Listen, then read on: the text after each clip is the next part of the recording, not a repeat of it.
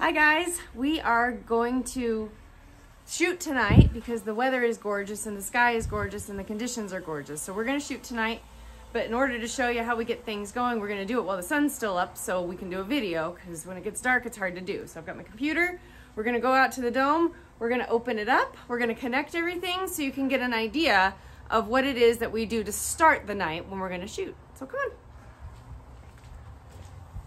And look at, at the Aim at the sky. Show how pretty the sky is. And it's just supposed to stay prettier and prettier all throughout the night.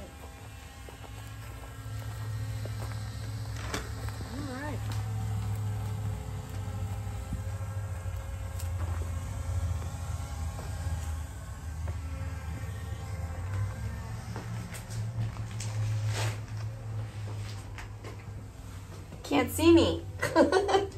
finger in front of it. That's okay. It doesn't have to be perfect. This is very small space. It's hard to do and it's gonna be hard to do well. You can put your laptop over here. Oh, perfect. What is that? So you'll have to be good at editing. This is where, no, I'm not editing anything. I don't care. We just wanna show you how to do it. So there's an order of operations. So if you look right here, this is the power box. This is our Pegasus Astro power box. It powers everything. The camera's connected to it, the focuser is connected to it, the uh, mount is connected to it, everything's connected to it. So in order to get things up and going, I'm going to connect, I'm going to turn the switches on that we're gonna need for this. So over here in Nina, this is the program that we use.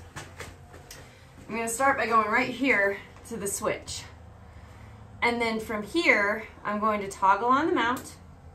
You heard it click, I did anyway. Toggle on the camera. And I'm gonna toggle on, if I can get it down just a tiny bit more, the focuser. okay. And then everything that we need is already turned on on this side. And then from here, I'm gonna go through my checklist of things. I'm sure you can kind of see me too. Nope. I'm gonna go through the checklist of things and connect everything one by one. So right now we're on the camera. I use a ZWO ASI 2600 MC Pro. Show them what it looks like. it's this red cylindrical piece of equipment right there. It's a it's an Astro cooling camera. It has a fan in it, so it keeps it cool as the sensor heats up and shoots throughout the night.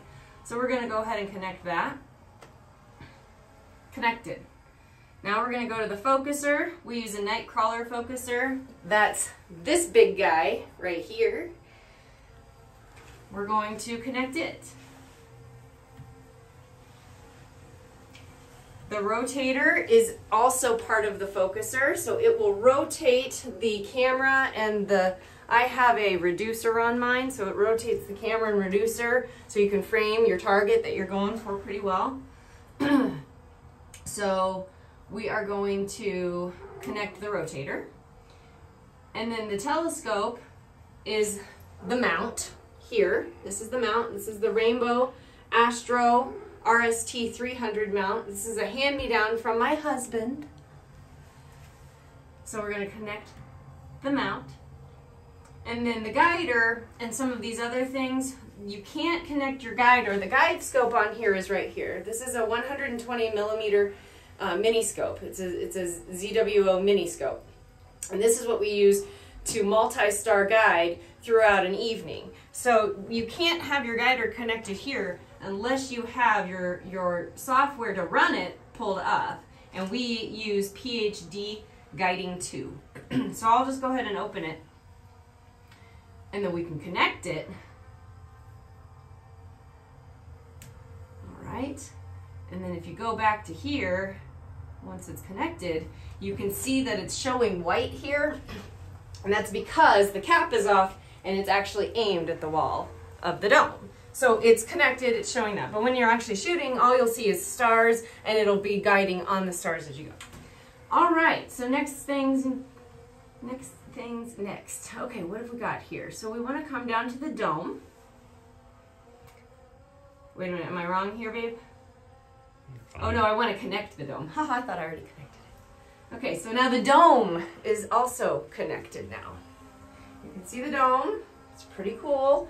This is the motor for the shutter. This is the shutter here. So it's gonna, it's gonna go back when I tell it to go back. And I'm going to open it right now. And there's a little button right here in the software that says open shutter. So open shutter. Going to click over here where the dome follows the telescope. Well, I'm gonna home the telescope first.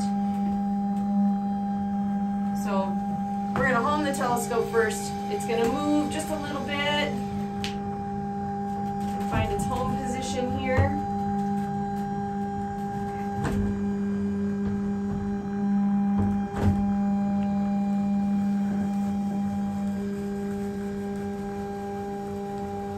Getting brighter in here because the shutter is opening, by the way. It's a beautiful sky. It's a perfect night to try. We've got some galaxies. We're thinking about going for one of the galaxies, maybe Bode's and Cigar, or the Needle. The Needle Galaxy is so cool, but it would be better in his big scope. We don't have his.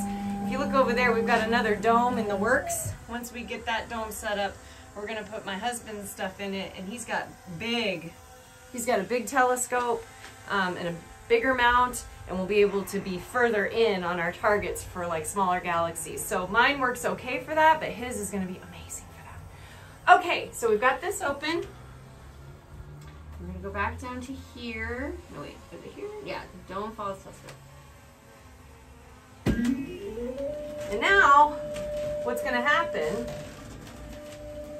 is the dome is gonna come over here and meet up with where this is pointing out the, so it'll be out the shutter window. It's so dusty. It's been so long. Poor baby. Why don't you park the telescope so that they can, they, everybody can see the dome follow the telescope? So that it's actually pointed north. yeah, just hit park On the telescope? telescope. Mm-hmm. Cute telescope. And so this will move them together and it's gonna go, this is gonna go to the polar alignment or the, the north position, correct? yeah. Okay, because it's already polar aligned. But when we hit park, telescope's gonna move. And right now we're facing northwest. So we want to go due north with this when we do parking or whatever. Like it's just a good place to start when you're when you're at the beginning of it all.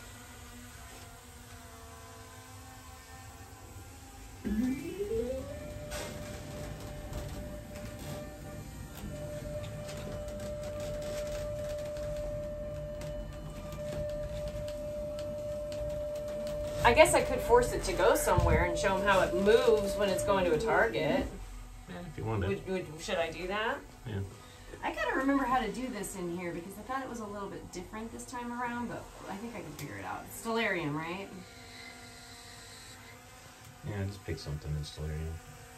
Pretty much anything. Stellarium is the um, it's the how do you describe it? It's the finding software. The findings. I don't know what else to say. It's like it shows us the sky. It shows us what we can see where we are. It's planetary. Planet, planetarium. I couldn't think of the word. It's planetarium software. So just uh, pick something towards the south. This is why I have to get my husband involved here. Okay, so something towards the south. Oh, so just pick, Yeah, just, just, move it scroll. I mean, you can't see anything. It's broad daylight, so south. sure, why not? That would give it a good movement. What kind of high up? Sure. Okay. And then how do we make it move again? Because we haven't done this in a while. Okay. Well, you're picked there, so go back to Nina Okay, go back to Nina. This changed over the time and here. go to your framing assistant, Framing. and then uh, you want to make sure that you're on offline sky map, so you don't connect to the internet or any of that nonsense. Put the little coordinate button there. Right here. That's get coordinates from From the, planetarium. from planetarium. So it pulls up your coordinates, and apparently we're on Sirius. Sirius. Okay. Yep, we're on Sirius. It's a big star. Mm-hmm. And then uh, just slew and center. It's Is not. it slew center? You can just if you click on that, you can just slew too. You don't have to center. Because if you do slew and center, it's going to try to plate solve and So should I just do slew? yeah, just do slew. Okay, gotcha. Okay. Oh. Oh, you're still parked. Uh oh. Oh, I'm still parked.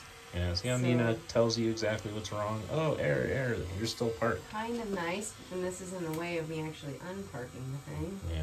So Okay, yeah, so unpark. unpark. And the dome's not parked here, right? No. No, okay. So then we go back to framing, and then we go back down here, and we hit slew. So this is like if we were acting like we were shooting throughout the night, this is what would happen. So now the dome is turning and the telescope is turning with it, all together. So when we're on the target, as things move throughout the night, it will stay together and it will follow the, the dome and the, the telescope. It'll keep the telescope in the window all night for shooting. But when you're rotating there to get there, when you're slewing everything to get there, the telescope, for instance, beat the dome there. So the dome is still working its way to get into position, but the telescope already made it. So, and we've got trees this direction, so it would be blocked anyway. But this is where Sirius, the star Sirius, is right now. So, anyway, um, should I shut it down Sure. for you guys? Okay. Now this is a little awkward. Mm-hmm. Okay, so we want to go to And normally, normally it's done. This is all done from the house. inside, but I wanted you to be able to see what actually happens with the dome. But usually I'm inside of a chair or he's at his computer and we're running all of this remotely. But I wanted you to see how it all opens and moves because it's kind of cool and at night it's just not as cool because you can't see it so well. Okay, so do I want to home the scope? Um, yeah, you might as well. Home That'll, it. that'll get the, the scope back. You can, in the meantime, just tell the dome not to follow, and then you can park the dome. So all of these telescopes have home positions or park positions, and this park position on this one is different from home. Are, are all of them like that? Eh, they all vary. Some will go north, some will go, you know, east, some will go west. Um, you can you can set you can set your own park and home position if you really wanted to. Well, not home position, but park position. Home basically is telling it where, uh, I guess where it is. So you know, you first power it on. The telescope has no idea where it is. So there's some little sensors or stops or you know every manufacturer is a little different and it tells it exactly where it is so this one just happens to point west This one points west, but then the, the park position for this is is at the, is north. It's in alignment with the polar alignment, yeah and that's typical. Park is usually that well for these mounts, right? But you said you could change. You could depends on customize. manufacturer I, I i set this one for park to be north Nice. Well, and as you can see, now that we're so now it's gonna get darker in here because the shutter's gonna close. This is still finding home, so it's still moving a little bit. It's kind of going back and forth, figuring out where it is, getting its uh, bearings, there. That's home for that guy. And then we'll get the shutter down, and then we'll disconnect everything. But I want to do another video while I'm actually, after everything is connected, and hopefully tonight we can do it, after everything's connected, and how you start, where you go from here, like how you start imaging something and then showing how you can kind of walk away from it for the rest of the night. And, and he's even figured out, because he's the brains, I'm the beauty. No, anyway, he's figured it out where he can set the dome and everything to shut down at a certain time. So we can go to bed and four in the morning, it'll shut itself down. So we don't have to stay up to shut everything down all over again. So from here, we've got everything's homed, right? So I can just start disconnecting now. mm-hmm. Okay, so we're gonna disconnect the camera. Okay. We're gonna disconnect the focuser. Okay. Disconnect the rotator. Okay. Disconnect connect the it says telescope, but it's actually the mount for the telescope. The guider, we can disconnect that. And in the switch, we'll just go back to the way it was before we even came out here and we'll turn we'll toggle the switch for the mount off. We'll toggle the switch for the camera off. And we'll toggle the switch for the focuser off. And we can close our guiding. And we can close our planetarium software. Thank you, my love. What would I do without you? So that's it. That's it in a nutshell. I will. I'll tell you. You know, I already told you about the camera, the the focuser, and the guide scope, and the mount. The telescope is a William Optics 103 refractor scope. It's all glass. It's like a giant camera lens, basically. This is a doublet. So, can you explain a doublet? No. You can't. It's got. I know it's just got two. It's got two lenses in it, right?